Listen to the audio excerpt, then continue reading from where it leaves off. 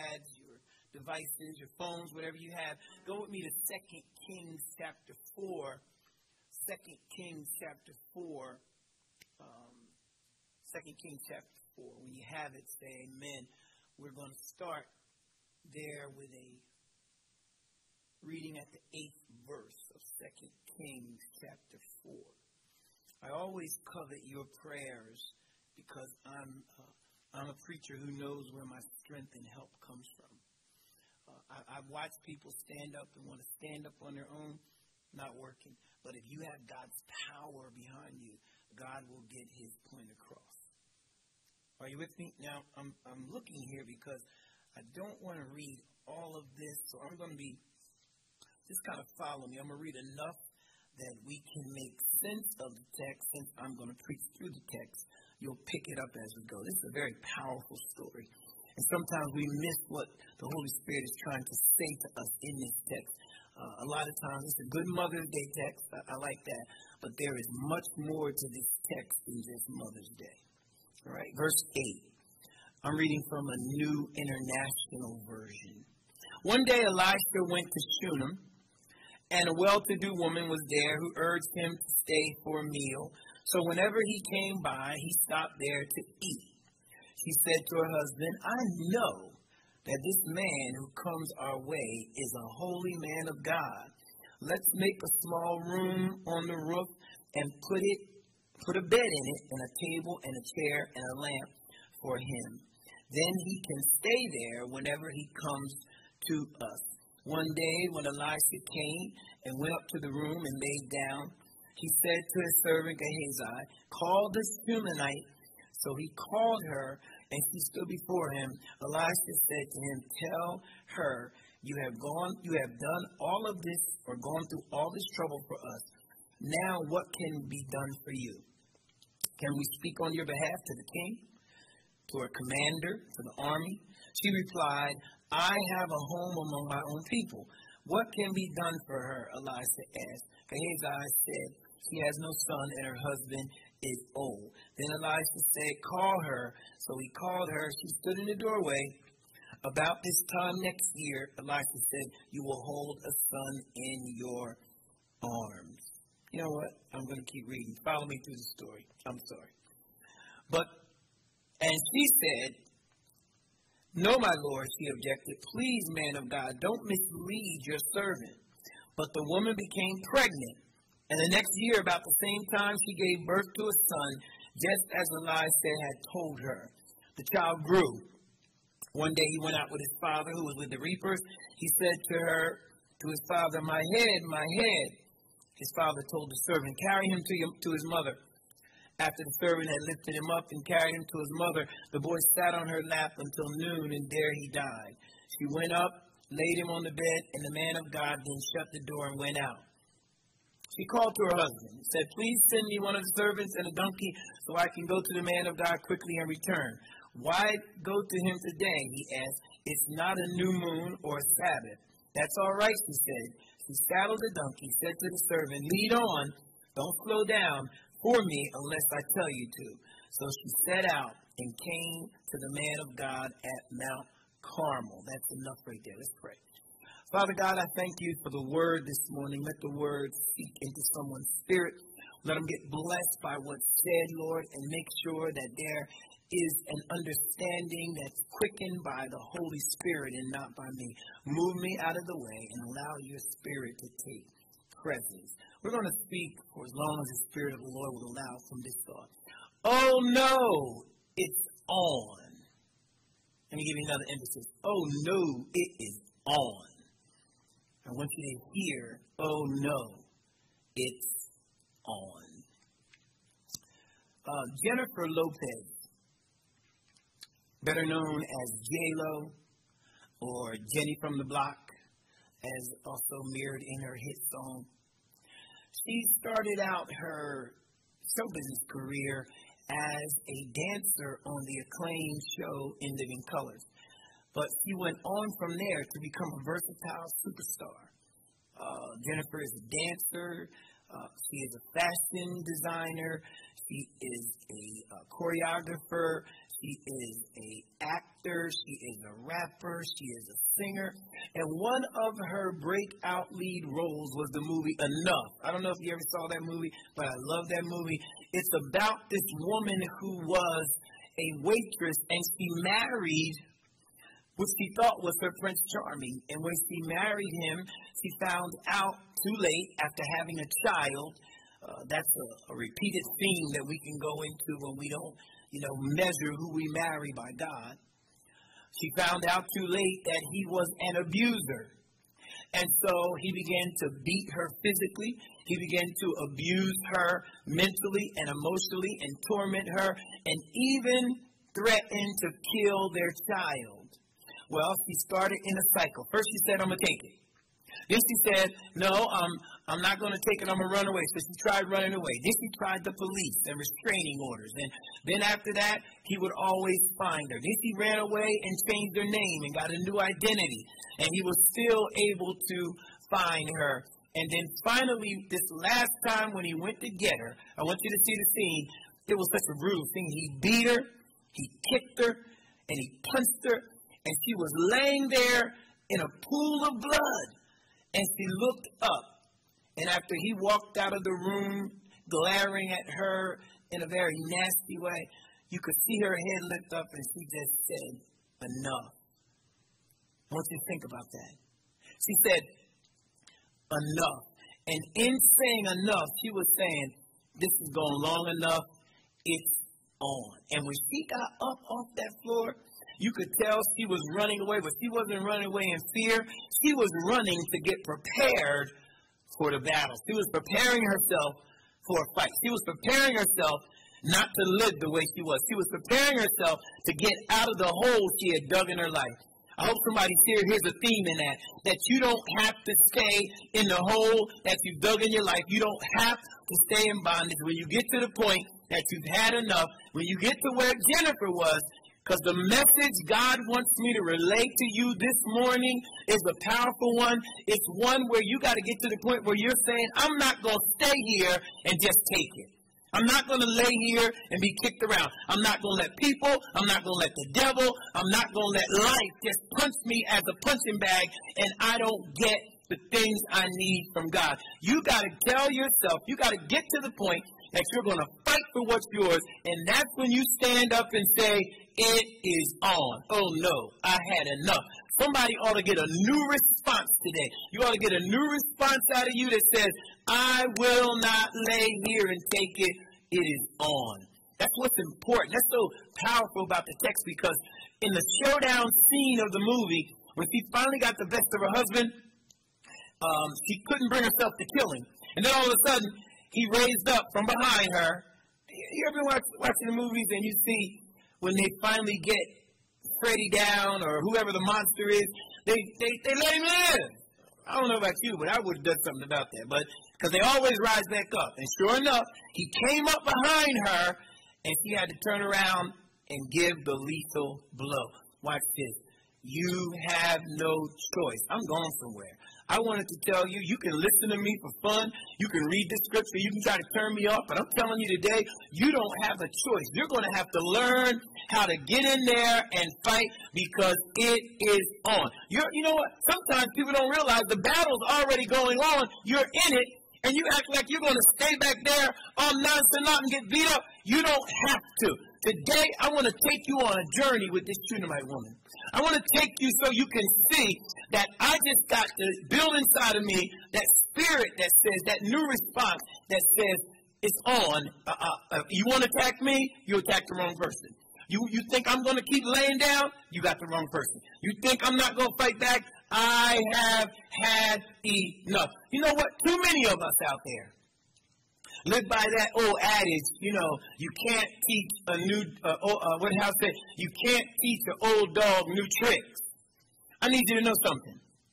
I'm not, I don't believe that's true in the Lord, but I'm not talking about just spiritual warfare because we know spiritual warfare. And spiritual warfare, uh, scriptures like Ephesians 6 and 12 that says, um, uh, wherefore, no, says, uh, we wrestle not against flesh and blood, but against principalities and powers, against the rulers of darkness of this world, spiritual wickedness in high places. I know spiritual warfare. Or we know uh, the scripture that Paul told Timothy in 1 Timothy 6 and 12 fight the good fight of faith. Lay hold on eternal life, wherefore you have professed and been a witness in front of so many people. What I'm saying is, I'm not talking about that. I'm saying you know how to fight. You know it's spiritual warfare, but you got to change your attitude. Let, let me say that statement again. Many of us got that statement is, you can't teach an old dog new tricks, or here's how we say it. I'm too old to change now. Well, this is just the way I am. I'm telling you, that's killing you, and that's not how it is in God. In God, there's always a chance to be restored. How many know that? In God, there's always a chance to be renewed. I, I want to let that marinate. There's always a chance for you to be re-strengthened. I'm telling somebody, God is looking for a way to re-strengthen you and build you back up again. What I'm telling you, you're never in bondage to old addictions, old habits, or old defeats. Don't let the fact that you failed before keep you failing now. Because you failed before with what you've learned from God and where you are in God now, how many know I'm strong enough now to be able to handle what I couldn't handle before? Let's look at some Bible. You know, I like I like us to see what God is saying. The first thing is you don't have to be in in, in, in bondage to old addictions and defeats. How do I know that? Listen to Apostle Paul in Philippians chapter 3, verse 13 and 14. Uh, Paul is saying, um, that it's not as if I have apprehended. Brethren, I don't count myself as apprehended. This one thing I do, I forget the things behind. Don't just stop there. I reach forth for the things ahead. In God, there's always a future. And I press toward the mark of the high calling in Christ Jesus. Did you hear it? I'm never in bondage because I can always forget what's behind me, reach forward for what's in front of me, and press on. Tell somebody, press. Somebody holler with me. I got to press because I always have a future. The Holy Spirit just spoke something to me right here. Somebody out there needs to realize you have a future. As messed up, jacked up as life has been, you still have a future in God. So you're never in bondage. So not only that, we have witnesses. I always like the fact that if somebody else can make it, I know I can make it. Get that in your spirit because God is no respecter of persons. But Hebrews chapter 12, verse 1 says, Wherefore, seeing we are compassed about with encompassed about with so many clouds of witnesses, let us lay aside every weight. Come on and the sin that does so easily beset us, and let us run with patience the race that is set before us. Somebody out there, you need to understand all of us got weights, all of us got sin, but you got to learn how to do what other witnesses did. You got to run this race with patience that is set before us, looking unto Jesus. What am I telling you? I got witnesses. I got some folk out there can testify. I was under till I made up my mind. I'm not going to let folk treat me like this. I'm not going to keep my life in a season of punishment when I have a God that's stronger. Oh, I'm helping somebody this morning. Not only are you not in bondages, not only are you not the person, I mean, not only do we have witnesses, here's the best one of all it's part of our inheritance. That's right. Write this down, please. Write it down. Galatians chapter 5, verse 1. I love the fact that it says that we um, stand fast in the liberty wherewith God has set us free. Now, watch this. Stand fast, meaning I, I got to stay strong in the liberty. The word liberty means freedom. So it's almost a redundant statement. Here's what God said Stand fast in your freedom. Somebody say, I don't feel free, but you are. Because God said you got to learn how to stand fast in your freedom. He says, Stand fast in your freedom, wherefore God has made you free. Be not entangled again with the yoke of bondage. What is God saying? Stand fast in your freedom because you realize I've been set free to stay free. Since I am free, I won't let bondages tangle me back up again. Same sin, same struggle, same stuff. I'm going to move quickly today into this text. This Shunammite woman is going to teach us, is going to show us what God was saying to us in this text, how she developed this attitude that my deliverance is always rooted and grounded in God's supernatural ability to give me a victory anytime I need it. I'm going to say that again to echo with somebody. God, you have to believe. You have to have the attitude that says, my life is rooted and grounded in God's supernatural ability to give me victory anytime I need it. I want you to write this down as we go through this text. We're going to climb through. What a powerful text. I want you to write this. I, I, told you, I always tell you, if you've been listening to me for a while, I will tell you, I like to have a, a, a give you a blueprint of where we're going. So let me tell you where we're going today. First of all, you ha- and I always like to alliterate. You know, most time you'll you'll find I'm alliterating in my sermons. But if you're going to be the person that says it's on, that develops a new attitude, the first thing you have to constantly remember is keep building your relationship with God. Secondly, you have to keep believing in your reward from God. And thirdly, you have to keep battling till you get results. Let's package that again. You have to keep building your relationship with God. You have to keep believing in your reward. And you have to keep battling until you get results. Where we are today, this is Elisha. S H A. He was the protege of Elijah. J A H. And Elijah was the one who refused to leave Elijah's side because he wanted to be there when Elijah was taking up in the flame of fire, in a, in a chariot of fire. And if you go to 2 Kings chapter 2, verse 9, you'll find that he asked Elijah, he asked Elijah, yeah, he asked him, he said, Give me a double portion of your anointing.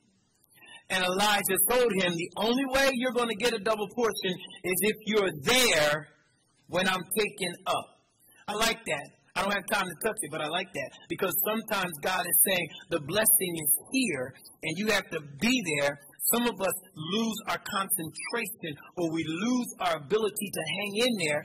And isn't it something that we have to think about right when we were about to get the blessing, the blessing was gone because we did not hang in there. He said, but you got to stay. So if you go to that second chapter, you'll find out he tried to get rid of Elijah. But he said, I'm not going anywhere till I get my double portion. And you know what's exciting about his double portion?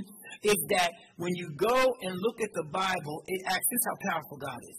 It actually says that Elijah, with a J, actually did 14 miracles, and Elisha, who we're talking about now, who preached to the divided kingdom, he actually did 28 miracles. That's just another example that God does what he says in his word. And here we are with Elisha who first shows up in Second Kings. And now we go into the miracles that he has done. So the text tells us, our first point is you got to keep building your relationship.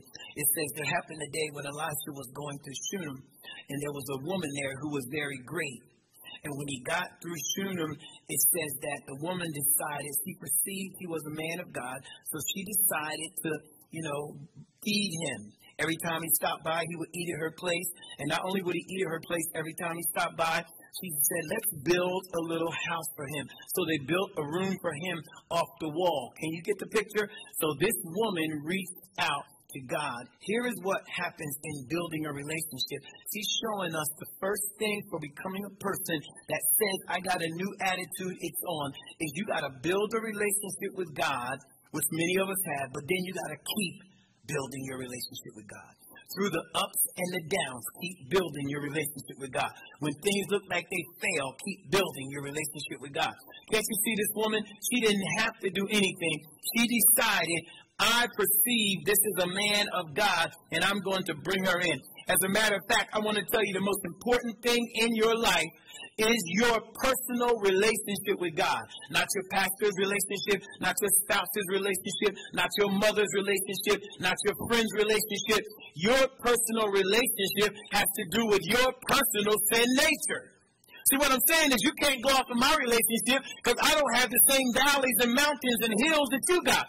God has given me a relationship with Him or the ability to have a relationship with Him so I can handle the stuff I got to handle in my life. What are you talking about? None of us have arrived when it comes to handling our sin nature, our fleshly propensities, and our genetic habits. Let me say that again. All of us have a sin nature that we have not controlled. We can't control completely. Don't lie. You can't control your sin nature, neither do I. That's why it's a constant building of my relationship. All of us have fleshly propensities, meaning there's some things our flesh draws us to that we have to fight to make sure we don't do it. Then there are some genetic habits, some things that were transferred to us. As a matter of fact, I'll go further and tell you we actually have genetic or we have generational curses, generational, behavioral, and environmental curses follow us, and that's why our relationship is so important. Because if I don't have my relationship with God, I can't break any of those curses out of my life. Oh, I'm helping somebody. You can't break the curse because you got to go deeper and lower than I do. You can't base your life on what somebody else is doing. My relationship may take me praying every day may take me praying every morning systematically. Your relationship, you may be able to skip a day. I can't skip a day. Anybody like me, I can't skip a day because I know without God on my life, I would mess up somewhere along the line. Now let's talk about this so you know when I say generational curses, I'm not being spooky. Think about it. Let's, let's put it in a way that you can understand it. Any of us, when we go to the doctor, you know when you go into a doctor and you fill, first thing you got to do is fill out your medical history. But haven't you noticed for surgery, uh, your general practitioner, specialist, all of them. That's why hate going to a new doctor. You got to fill out all that paperwork, and here's what happens with that paperwork. Eventually, somewhere they're going to ask you about your parents' medical history and your grandparents' medical history. Watch that. You know why they do that? Because they know in the blood watch me, y'all. In the blood, it carries some generational stuff. So genetically, they'll ask you, anybody uh, in your family ever had cancer? Anybody in your family ever had diabetes? Anybody got a weak heart or a bad heart? You know why they ask you that? Because they know that if your grandfather or if your father, they know it can skip a generation. Sometimes we will pick up genetically what we were born into. That's why I'm telling you, you got to have your personal relationship because there are some genetic uh, habits that can be passed down to us. Not only that, we can see this spiritually, not, not just physically and medically. We can see this spiritually where there are times when um, we can watch that um, our behavior or our environment spiritually can be transferred to us. What I mean, if you grew up in an environment where everybody lied, you pick up lying. You grew up in an environment where everybody cursed each other out.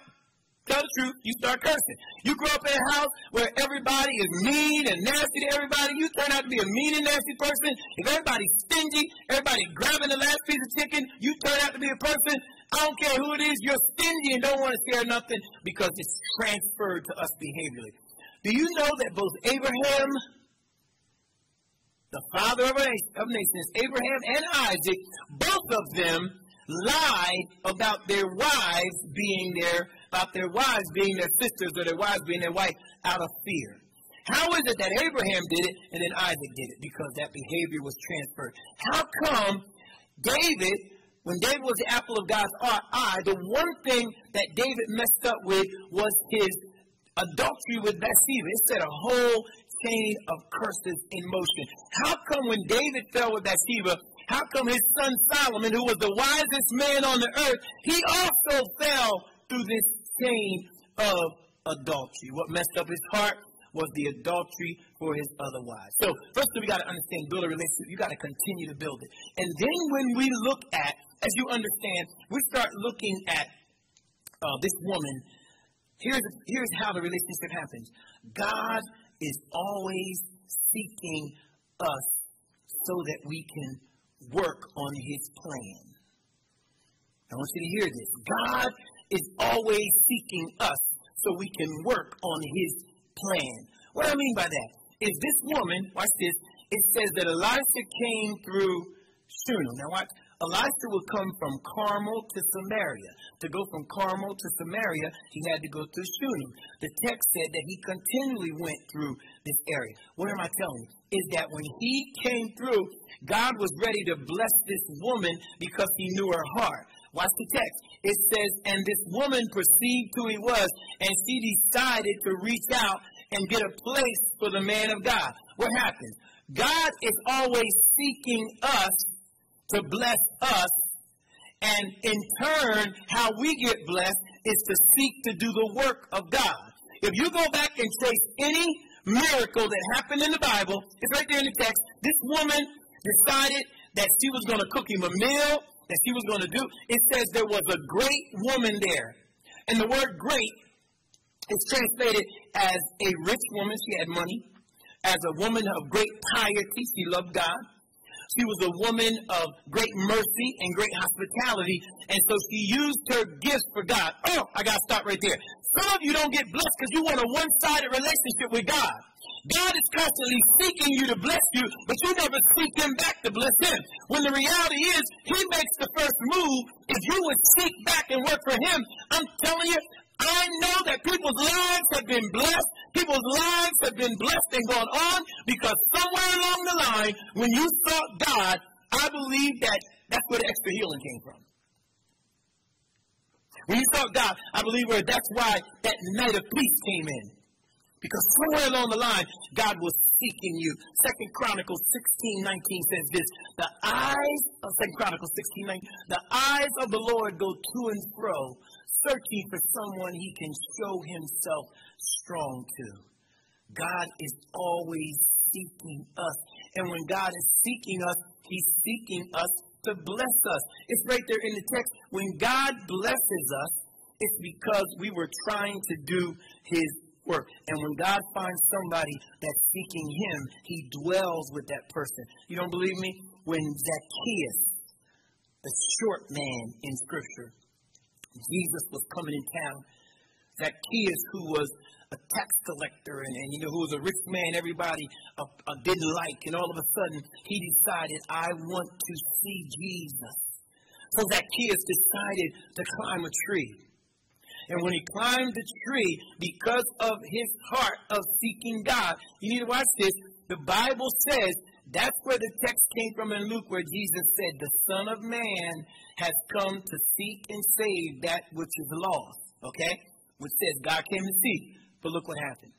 That night, he looked right up in the tree and said, Zacchaeus, I'm going to be staying in your house tonight.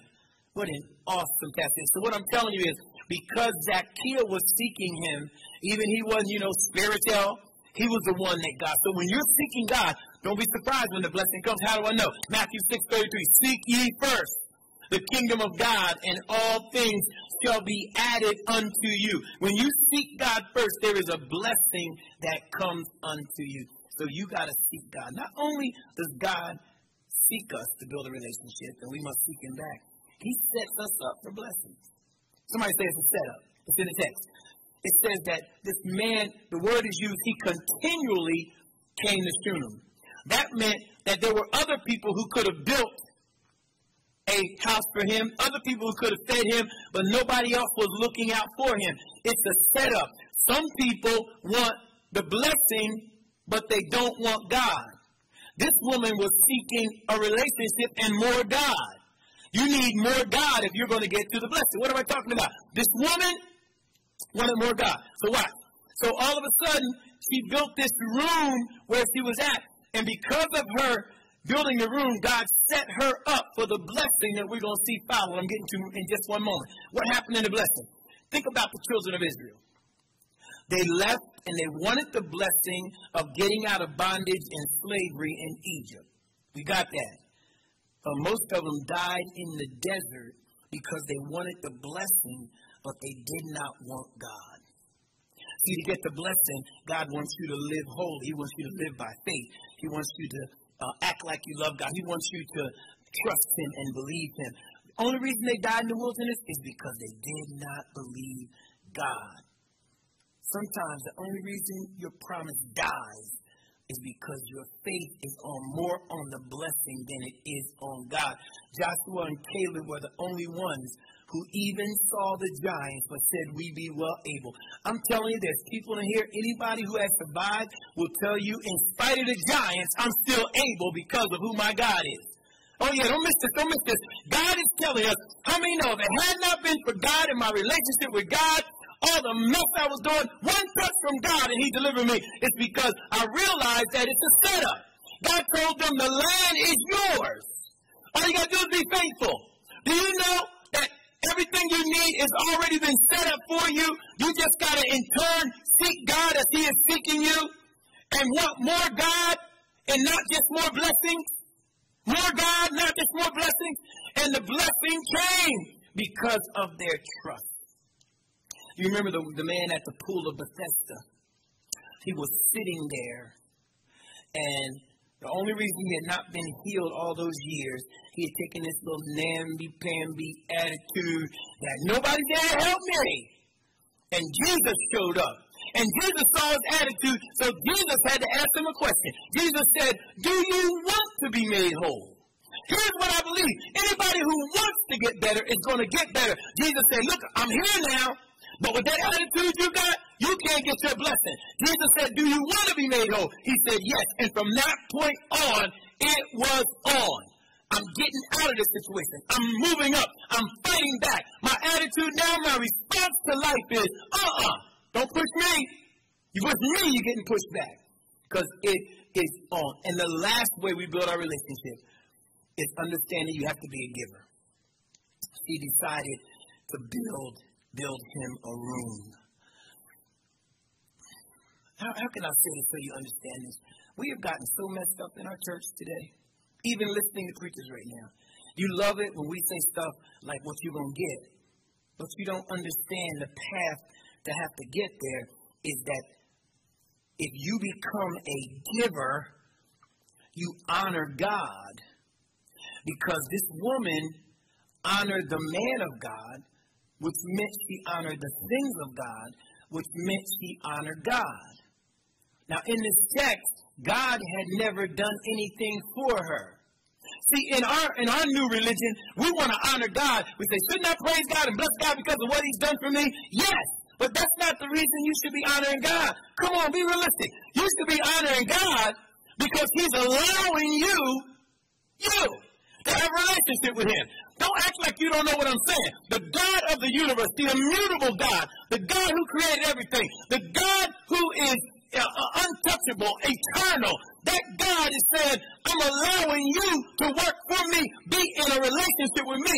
That's what you should be overjoyed about. That God knows your past and still wants you. God knows your thoughts and still wants you. God knows the mess you've done and still wants you. What should make you shout every day you get up is out of everybody God could have chosen, He's allowing me to have a relationship with Him. And when we know that and we see who that is, we get blessed. We think about the God. Think about it. Angels who are not even human have to bow and run out of His presence. Moses, who was close to God, that God called him friend, could only see his backside. I'm telling you, and this same God is allowing you and me to honor him and be a part of his life. So, what I'm saying to you is that this same God is being blessed or blessing us because we have a relationship. So, when you understand that God is allowing you to have a relationship with Him. And when you understand that we should praise Him because we're in that relationship, not for what He does, but for who He is, what am I saying? And don't act like because you're saved, you know how to worship Him. There were 10 lepers that got clean. And we know the story. Only one came back. And the one that came back was the one that came back to honor him and thank him. Next, we find out not only must you keep building your relationship, you must keep believing in your reward. Text says in verse 11 that one day, um, here, here's what you need to understand about a reward.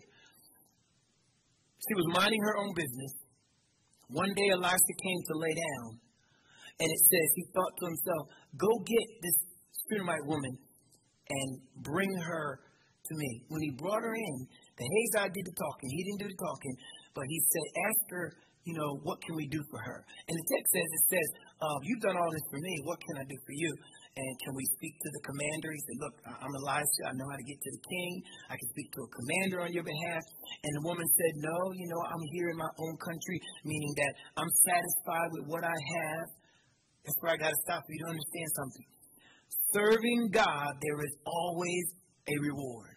One of the things that should keep you going when things don't look right is to know that in the end, serving God pays off.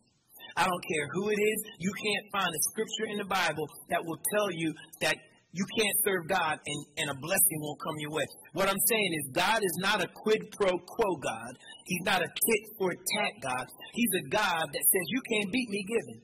He said, if you keep serving me, sooner or later I'm going to deliver you. Sooner or later I'm going to bring you out. Sooner or later you are going to get a reward because you serve me. There's a benefit for serving God. And normally God says, when I give back to you, it's pressed down, shaking together, and running over. So the first thing I want to tell you is God will make the first move to bless you just because your heart is right. And so here, when you give to God, he said, when your heart is right, I'm going to show up and bless you. So this woman never asked for a thing. Do you realize because the woman focused on the work and not on the blessing, God blessed her because he didn't ask for it, God blessed her anyhow. And then, here's the part I love. God wants to bless you so badly. He wants to reward you so badly that he will give you what you didn't even ask for. He will give you something that's already, that you think you can't have. He'll give you something that you think is beyond your ability. He'll give you something that you have already forgotten about. What do I mean? Gehazi said, when the woman said she didn't know what she wanted, Gehazi said, she has no son. You need to understand something. In Old Testament times, in biblical times, there are two times when people in biblical life thought they were cursed. And that is they thought they were cursed by God.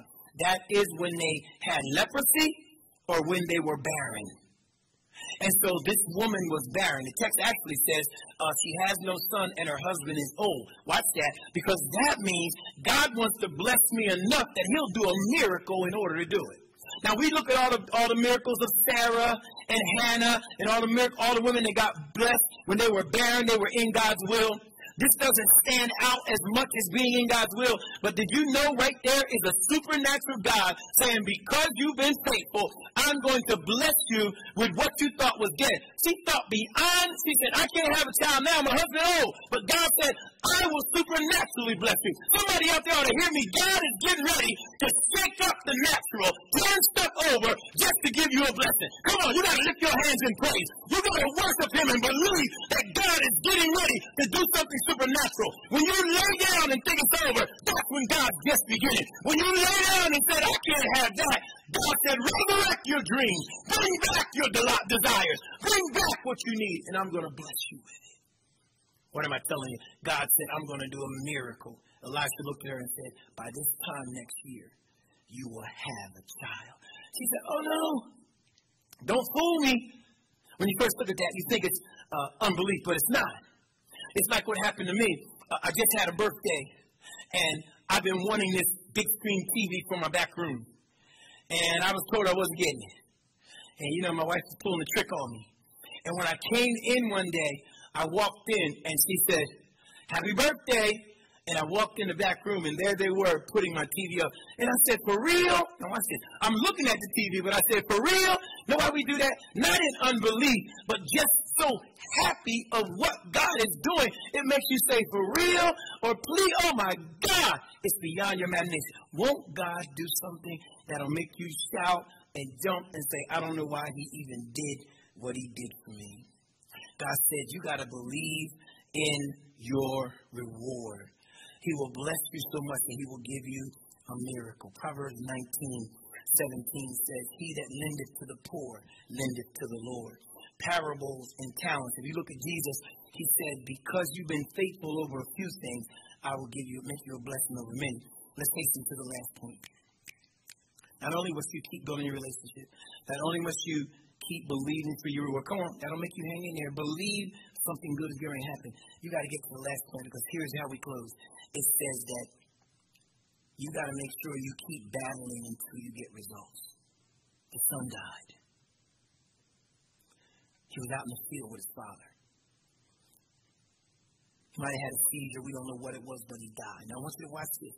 The heart of this woman. And it was harvest time, the text says. So they brought the baby in. When he died, the father said, Take it, take him to his mother. I know the mother, we know the mother had supernatural faith, so they took him to her mother. She held the baby on her lap until he died. It was at that moment, here's our text, when I know she laid there for a minute and then she said, Oh no, not my blessing. It's on. She laid the boy in the room she had built for Elijah. She went to her husband. Now watch the steps in saying it's on. She went to her husband because it was harvest time and all the servants were in the field. She went to her husband and asked permission. She said, I need a donkey and a servant to take me to the man of God.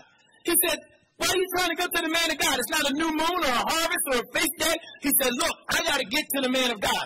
So she went to ask her husband something that was impossible. It was harvest time. Her husband said, I need my donkey. I need my servant. Here's the first point I want you to know about battling. You got to be not be afraid to ask for it.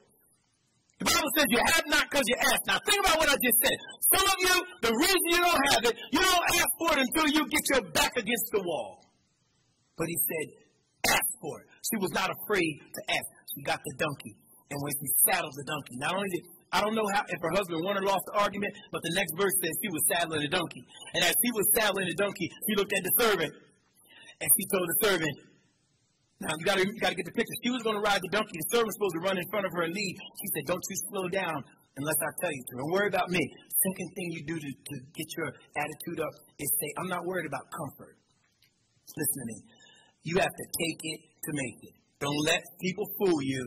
Anybody victorious will tell you they have gone through pure hell. You got to take some stuff. Don't sit there and just want to be victorious and don't want to go through anything. He said, Don't worry about me. Then when she got to the man of God, as she got there, Elisha saw her coming down the road, thinking Gehazi out. She came to her and asked her, uh, What's going on? Is everything okay? Look at the text. He said, Everything's okay. I thought to myself, this woman done went to lying. She's in the middle of the biggest fight in her life, and she's saying everything is okay. But what I found out was the reason she could say everything was okay is because, and the Spirit of God just kind of birthed this in me. It is okay. She had turned it over to God. She was on her mission. So even if you're in the middle of it, if you gave it to God, don't start speaking negative when you already told God you believe Him.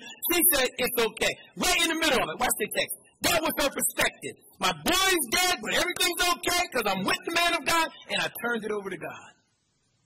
And then finally, God, Elijah, and I thought he did well. He told Gehazi, take my staff, which is a symbol of his power. Gird up your loins. Because men used to wear the long skirts. Tuck the skirt in so you can run. Run. If somebody comes along, don't give them a greeting. If they greet you, don't talk back. He said, run and lay my staff on his board. He looked at the woman, and the woman said, as God lives, I am not leaving here unless you go with me. Not only must you, watch this, you must not accept a substitute. Don't accept a substitute. She decided, I'm not going. So the Gehazi went, but Elisha had to follow her. And Elisha followed her down the road. And as she got down the road, Gehazi came out and said it didn't work. See, this woman had a faith connection with God. She wouldn't accept it. And then she said, I'm getting ready to battle Elisha.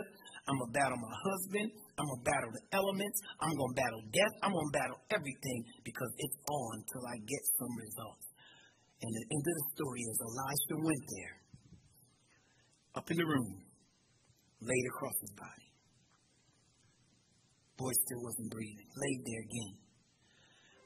Some people said Elisha was just, you know, trying to figure out what was going on. No, he was a protege of Elijah. I believe he, re- he was taught by Elijah because Elijah had raised up a young man. And he laid across the boy, and then the heat from his body went into the boy, but the boy still wasn't raised up. And I like when the text says, Elisha said, Something's wrong with this boy, but God hasn't told me. Do you know? God, he said, God hasn't told me. Elisha was saying, God always tells me, even Elisha, the great man of God, had to walk by faith. And of course, the boy raised up. And you know who was outside that door waiting? The Shunammite woman. And the Bible says, he said, Come get your son. I'm done. Wow. a lot in that text, but you got to hear something. Come get your son. Keep building your relationship, good or bad. Keep working. Keep on believing for your reward. It's coming. Hang in there. You're going to bless God. And thirdly, battle until you get the results that you know God can give you. Oh no, it's on. You got it? This week when the enemy attacks you and tells you you're done, say, uh uh it's on. I changed my response.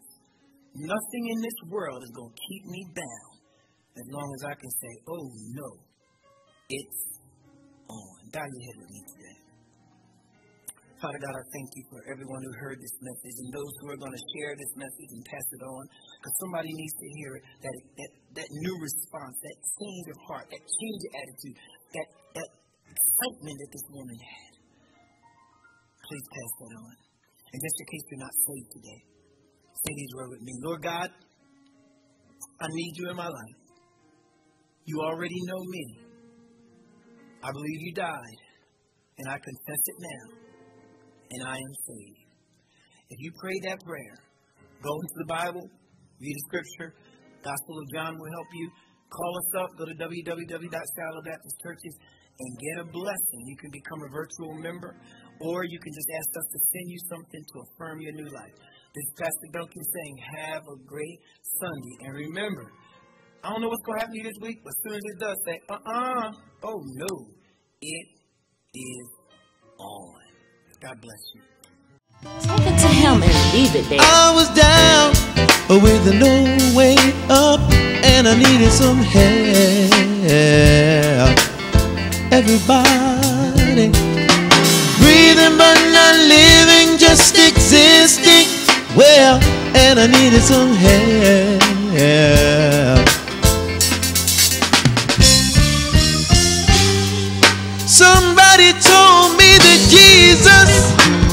Will set you free. I tried it for myself and now I know what he did